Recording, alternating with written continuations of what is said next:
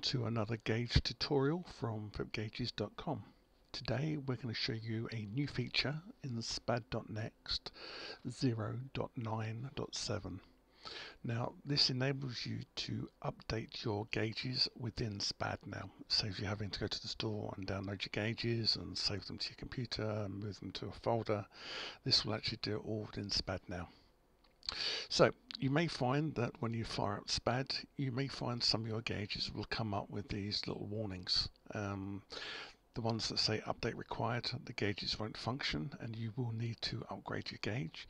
You may also see update available and this is just to alert you that you should update the gauge as well. Now, unfortunately, there isn't actually a process within the UI here to actually update the gauge. It's all done through the gauge loading screen. So if you click on the add gauge button to take you to your loading screen, if you select the folder that your gauges are in, you'll notice that it will have the banner saying that an update is required or whether your upgrade is available and you can now update here within these screens.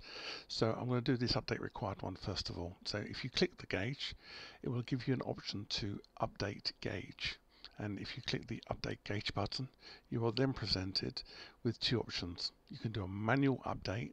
Again that will take you back to the gauge store where you can log in. You can open your order. You can download your gauge. You can manually copy the gauge to wherever you like. Uh, the same process as previous.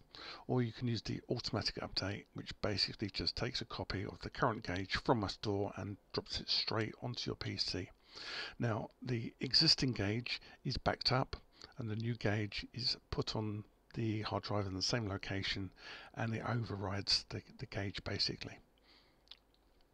And it's very very quick process and you can see that the banner has gone. So I'm going to go and do the other one here as well. So I'm going to click we're going to go to update gauge I'm going to go for the automatic update and again that's done. Now if you close the gauge form you'll notice within the UI those gauges are still showing the banners. Now there's going to be some more improvements regarding the gauge update process but for now you can either change the gauge profile or you can close and reopen SPAD so I'm going to quickly close that profile and then reopen it. And it'll reload the gauges that have now been um, updated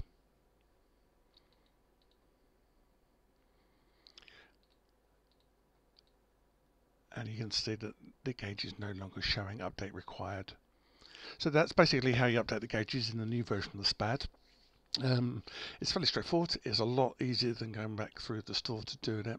So some people I know are getting a little bit confused now this is out, um, but that's in essence how you do it. You just go to your gauge loading screen, update your gauges from there, and either restart SPAD or reload the profile, and the new gauges will then be applied to your profile. Okay, so I hope you found that useful.